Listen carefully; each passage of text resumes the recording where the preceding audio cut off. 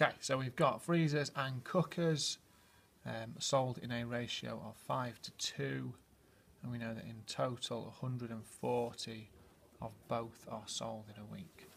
So I need to know the number of freezers and the number of cookers sold.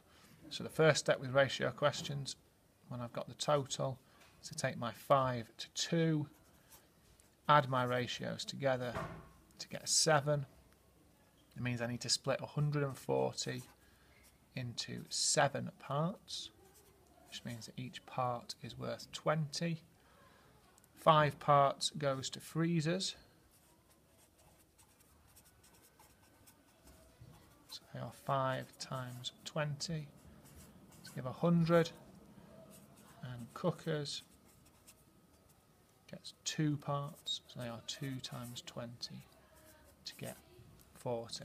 I can check by adding those together to see that they give me the total of 140. In this question, to get the final mark, you had to link together the word freezers with the number 100 and the word cookers with the number 40 to get that final mark. Okay, the price of a freezer is then reduced by 20% in the sale. Uh, work out the price, how much that Jake saved. So we can see up here, um, the original price is, that's very small, but I think it's £145. To work out 20%, I'm going to start by saying that 10% is £14.50.